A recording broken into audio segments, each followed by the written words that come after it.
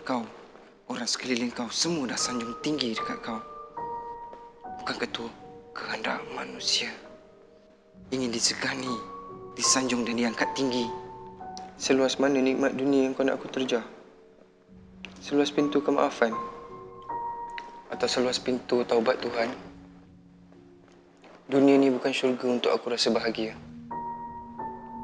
Tapi medan ujian yang harus aku tempuh. Ras,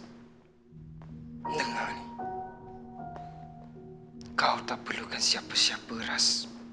Kau tak perlukan keluarga kau, kau tak perlukan kawan kau dan kau tak perlukan Tuhan, Ras. Kau boleh dapat apa yang kau nak, kau boleh capai semua dengan diri kau sendiri. Percaya cakap aku, Ras. Percaya cakap aku. Aku percaya.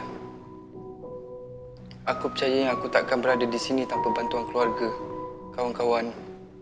Tanpa usaha dan doa aku kepada Tuhan, aku takkan berada di sini. Apa yang aku ada, apa yang aku dapat, bakat yang aku ada, semuanya pinjaman daripada Tuhan. Eh, kau cakap kau percayakan Tuhan. Hmm? Kenapa ada yang baik, kenapa ada yang jahat? Kenapa ada yang kurang waras dan kenapa ada yang gila? Cakap dengan aku, Ras. Cakap!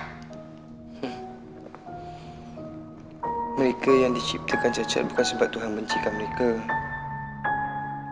Tapi Tuhan nak rugikan kita sebab tak dapat jadi macam mereka. Senang kan? Tak payah nak fikir masalah. Tak payah nak fikir derita. Tak payah nak fikir dosa dan tak payah nak fikir nafsu. Hei, kau berada di puncak sekarang ni. Andai kata kau jatuh, Aku akui, aku mungkin akan lupa diri bila aku berada di atas. Tapi siapalah aku untuk menidakkan dan menafikan benda itu? Aku cuma manusia yang lemah.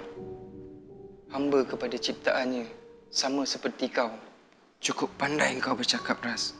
Perjalanan kau masih jauh. Aku akan pastikan riwayat kau habis sebelum kau sempat untuk bertaubat. Dan aku akan pastikan segala amal kejahatan kau akan melebihi amal kebaikan kau. Dan aku akan pastikan satu hari nanti kau akan tumbang. Jatuh. Aku akan hantar seramai mungkin angkatan aku untuk musnahkan kau. Kau hantarlah sebanyak mana pun.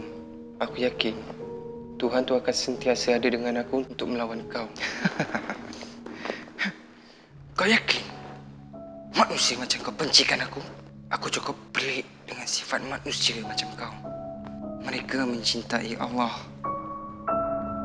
tidak pernah sujud kepadanya.